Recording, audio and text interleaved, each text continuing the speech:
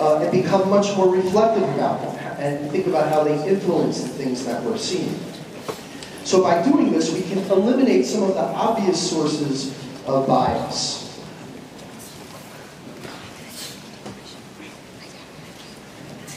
Now, I'm going to introduce one more little subtlety here, which is I keep talking about the scientist's particular perceptions, particular background, as a bad thing. It's a biasing thing. It's a thing that doesn't allow them to see reality objectively. But it's hard to know, sorry, it's hard to know. I think actually there's probably a productive tension, a good tension in science between one's own personal views and beliefs, one's own cultural background, and sort of what's objectively out there. So the subjective and the objective kind of have to work together in partnership in science. Why do I say that? Well, for as, a, as an example, so in the 70s you had the women's rights movement. And suddenly a lot of attention was being put on issues for women, like women's health. That cultural moment in history had a profound impact on science. So scientists, often men, increasingly women over time, became sensitized to this issue that, hey, we have to look at women's health as well. We can't just look at men. We've got to look at processes of disease uh, and the effects of medication on women's bodies, not just on men's. That came out of a cultural construction. It came out of, a, the women's movement in a sense. So you could say that was a biasing mechanism. But maybe it was biasing in a way that opened up inquiry, that was very constructive and helpful, especially for women. So what I'm telling you is that science can never be uh, purely objective. There are always subjective elements, but sometimes those subjective elements are very important uh, and can be very productive. There's also creativity and imagination in science. Einstein was incredibly creative. Uh, and he envisioned things long before he actually observed them. So that kind of creative genius was incredibly helpful in shaping the very questions he asked about time and space. So that's an example where something that's not objective, something that uh, was idiosyncratic to Einstein, his particular uh, perspective in the world, his particular creative genius, was very helpful in advancing uh, theoretical physics. So there is a place for creativity, for culture, uh, for all of those kinds of subjective aspects. There is a place in science. It's just that science has to have a strong partnership with a kind of objective element. So subjective and objective elements need to work together in a kind of healthy collaboration. Okay, back to the research cycle. So sociological research seeks to overcome some of the kinds of unscientific thinking that can occur because of these subjective elements. Um, we generally think of research as a cyclical thing, meaning it doesn't just sort of start and end. It continues on and on and on as a community project. Uh, there are eight steps, as you can see, We've already gone through the first four, so let's fast forward to the fifth, which is collecting your data. So in other words, after you figured out first what matters to you to look into, second, you produce a hypothesis or a kind of testable pet theory that would explain what you're looking at. Three, you go to the stacks, you go to the literature, you go to your computer, you go to the search engine, uh, and you search the existing literature on the topic that you're interested in see what's out there. Before you select an appropriate method, uh, the method that you use needs to be appropriate for the question that you ask. Some methods are much better at answering some kinds of questions than others. So you choose a method that uh, is effective for answering your particular question. And then now five, you collect your data. Uh, you observe your subjects, you do a participant observation, you interview them, you conduct a survey, maybe you read documents about them. Maybe you're doing an organizational analysis at the University of Toronto, and you want all of the minutes of the meetings between president, the president and the deans. So you look at those minutes to find some sort of evidence of something. Okay, now, since the 1970s, there's been a huge move in science across the university to bring in human ethics. You need to treat your subjects ethically. Um, there was a time, there were many uh, research projects that were being done that would actually solicit college students. So you had your professor, and he or she was doing his or her research, and he thought, aha, let me bring in some of these uh, undergrads, let them be of use, finally. Let them come in, and uh, we're going to conduct an experiment, like let's say the effects of um, psychological abuse on IQ scores. So the undergrads are brought in, and a set are exposed to some terrible psychological abuse, like maybe a Confederate, a guy or a, a, girl who's working for the scientist comes in and starts screaming uh, and saying really mean, belligerent things to them. And then immediately, those students who were exposed to the screaming Confederate get whisked away, and they have to quickly answer 10 IQ questions, right? So, um, well, maybe there were some bad psychological effects of that. I mean, if you were just blindly going into a research, let's say Green had a, a research project, come students to my research laboratory, you came, you were innocently waiting maybe to take a little test, or I don't know, uh, and all of a sudden, three kids run in and start screaming at you that you're ugly, and you're fat, and you have no business in the university. That's not very nice, right? But actually, those kinds of things happen the 50s and 60s. This is quite, quite common. There were some terrible experiments done on uh, humans, let alone animals. Uh, you can see some of this on YouTube. I'm going to spare you that today, though you know I usually don't like to spare you, but I will today. There's some awful things that went on. So as a consequence, universities developed these ethics boards, and, and there are, are sort of stringent ethical considerations about human subjects, and that's the sixth aspect. Now I have a slide for you, but I think these things in part, in part are so obvious uh, that I'm going to let you review that on your own. So do review those. Okay, back to the research cycle, seventh step, analyzing the data. Okay, so this can be the exciting part of the research cycle. You look at your data, uh, you find things that maybe nobody knew before. Maybe you confirm certain theories you found in the literature. You can reject other theories that you found uh, in the literature. Maybe you'll abandon your pet theory and say, aha, the data shows now that I'm analyzing it, I really wasn't right. Um, and maybe it'll help you produce a new theory to explain what you're finding. Now, number eight, once you've analyzed your data and you can speak back to the existing literature on the topic, you now have something to say. And so part of the industry of science, and I'm using that word very, very purposefully, industry, is that the researcher has to publicize those findings to become a name in the field. And also uh, to continue the scientific endeavor, meaning that research is of no value to anybody if it's not published so that other people can come, other students can look and read it and see, see what you found. So you have to write up your results and you have to publish them. You have to disseminate them in some way. This is a critical part of the research cycle because once the research is out there in the journals, in books, then other students, scientists, can go and read it and think about it and scrutinize it. Maybe they see something that you forgot to do. Maybe there's an obvious methodological bias that they find. Um, maybe your findings really aren't as strong as you think they are.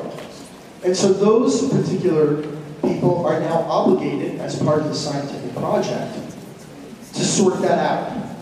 Maybe they'll do their own research and try to replicate your findings. And if they can't replicate them, then that becomes a real problem. Uh, maybe they'll, they'll do a similar experiment and find something very different. Uh, or maybe they'll write a theoretical piece or a methodological piece that just says, look, these are the great weaknesses in Green's argument, A, B, C, and D. And sometimes those things get published. So in a way, what you have is a back and forth in science, right? You have a kind of cycle a process whereby The scientist goes out, does research, publishes it, but it's not the last word because other scientists and students will review that work and then come back with their own. So it's an ongoing conversation. Science is an ongoing conversation.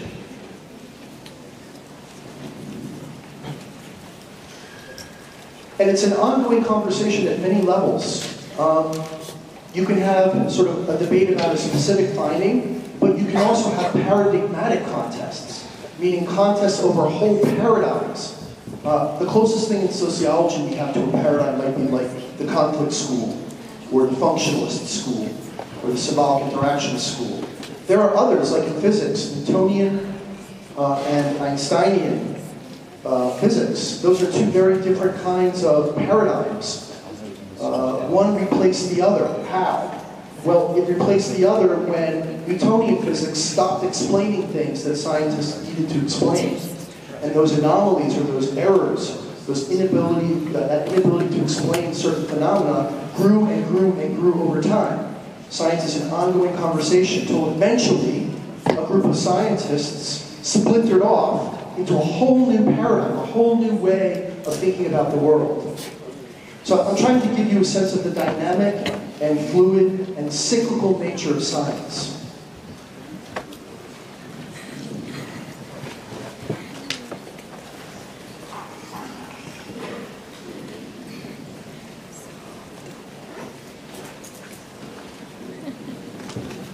Okay, so let's fast forward now to a particular kind of method. We're going to talk about this method because in a way it's so obvious, parts of it, that I think you'll all be able to relate to it. Participant observation, I'm sure you've heard it. In a way you've all done it, in a certain informal way. You're all participant observers. Uh, like that baby in the video, observing everything around itself, becoming a participant observer, like a little scientist, learning about regularities and patterns in the world and how they fit together. So you've all done participant observation in a certain informal way. Uh, in this method, participant observation, you'll see, according to the slide, um, the researcher observes a social milieu from an outsider's point of view and takes part in the activity of their subjects. So there's a kind of duality there. There's both, I am from outside of this community, therefore I can have a kind of outsider, maybe critical perspective, but then also I sit within the community and I act within it to try to get a native, if you will, perspective.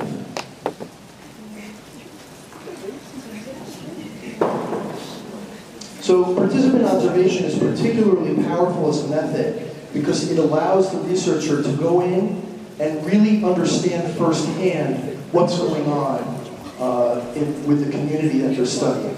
So if you wanted to understand what uh, large lecture classes are like in Canada, probably one of the best ways to do that is to start off as a participant observer. By the way, you should note that there are a number of participant observers here. They've been here this entire term, observing, taking field notes, watching you, seeing what you're doing, listening. See, I get field reports. I get field reports every week, I know. You think I don't know, but I know. Anyway, so these folks are trying to understand what life is like as an undergraduate student at a big university like U of T, at a big lecture hall. What's it like? What goes on? So the best way to do that is to sit in the class itself. Now, if they just distributed a survey to you on your way out, and you filled out some questions, closed-ended questions about your experience, that would give the researcher one kind of data. But you see how sitting in the class itself, and listening, and watching, and taking notes, some of them have little video videos going on I can see later today. So doing all of that kind of observational work, that will give them a very different perspective on what's really going on in the class than a survey. So this goes back to the point that the method that you choose determines what bit of reality you dig up from the ground. So, we, so if you use a, a survey method, the researcher might get one impression about what's happening in class. But by being a participant observer, by sitting in the class and getting hot and getting annoyed at these lectures, and watching students get annoyed, filming stuff, that gives a much richer, in some sense, or a different perspective on what's really going on in the class. So the method really does shape what you see, and that's an example of it.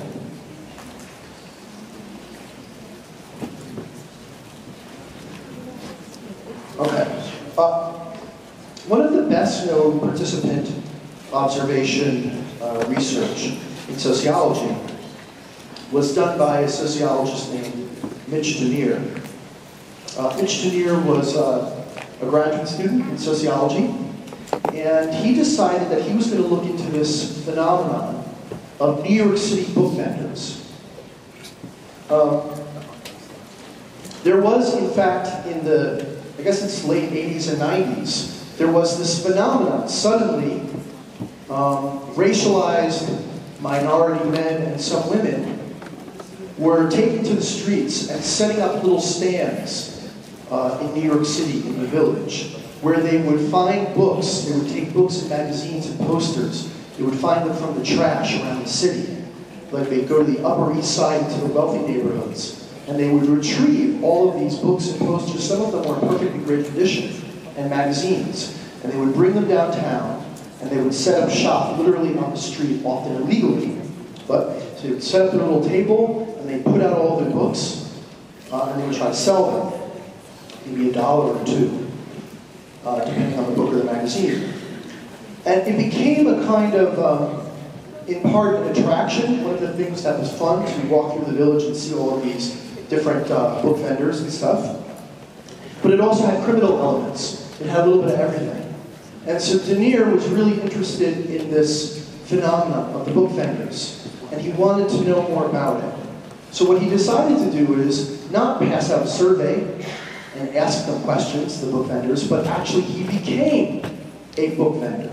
He went into the city and for a few years actually became just like the other book vendors. He would search the trash, get up early in the morning, he would lug all of his findings downtown, set up a table, sell, begin to converse with other book vendors. So he really immersed himself in that social milieu to try to understand it as much as possible. Okay, I'm going to play you two little snippets of it. It's a, it's a very famous uh, piece of participant research that was written up in a book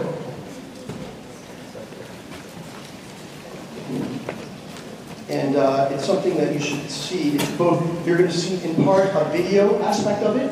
So someone was so interested in this project that they came down and they actually videotaped it. So you'll see some of the videotape of what he was actually doing.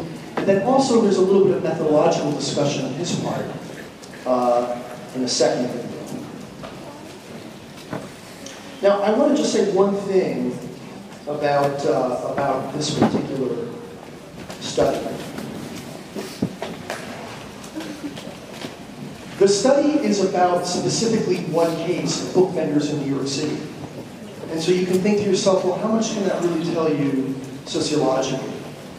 What, one of the great things about Duneier's work is he was able to take what happened at a local micro level between book vendors, between book vendors and police, between book vendors and customers, and begin to draw up from that micro data up, up, up into a broader level of analysis about policing, about uh, criminal uh, practices in New York City, um, about racialization, about how a particular racialized group dealt with economic hardship. So you see, even though this was one very particular case uh, around one particular set of book vendors, nevertheless, the data that he gathered allowed him to begin to speak sociologically off the ground up into much broader social processes and structures. And so that's part of what makes this work so interesting. It's both so rich at the micro level because he immerses himself in that scene, but also because of the theoretical points he's able to make about crime, about deviance, about racialization, about poverty, about survival, all those kinds of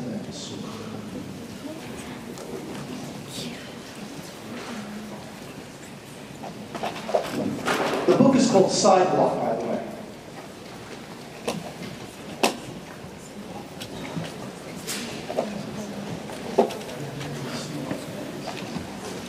Uh, just also a note, this video that I'm about to show you, it's actually available, has eight parts to it. I'm only going to show you a small snippet of part one and part five. If you're interested, it's available on YouTube, all eight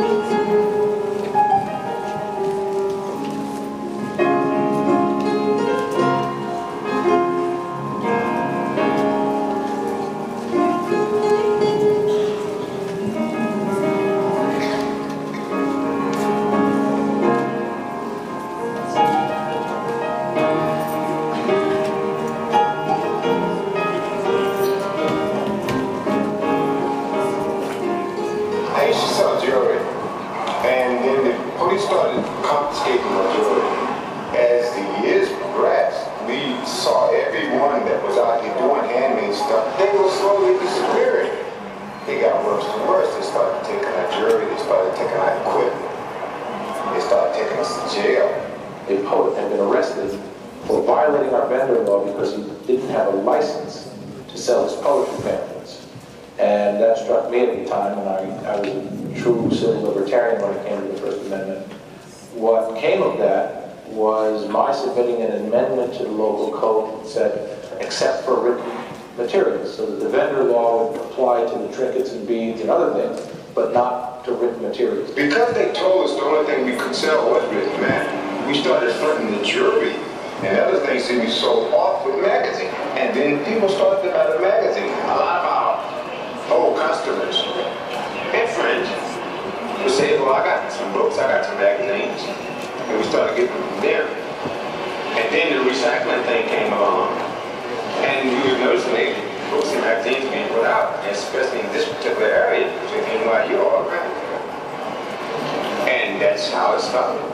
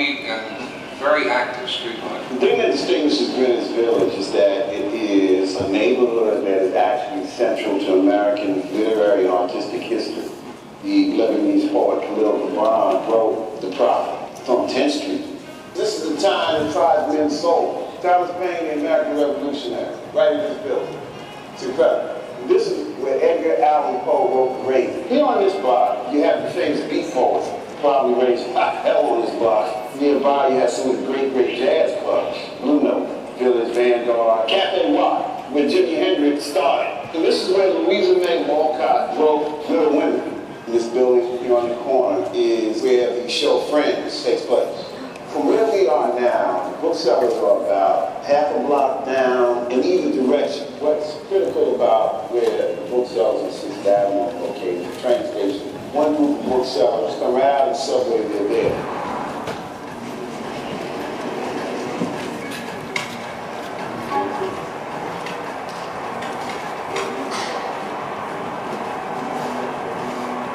The first ever time I became homeless, it was 12 years ago. This is where I came, to the village. Even though I together, went back lived with my family, had a job working at Bethesda Hospital and all that, I still came to the village. I feel like I'm part of this community. This is my job, you know, I come here every day to make money to support myself and my family. Wife, I, we've been together 19 years. I got seven kids.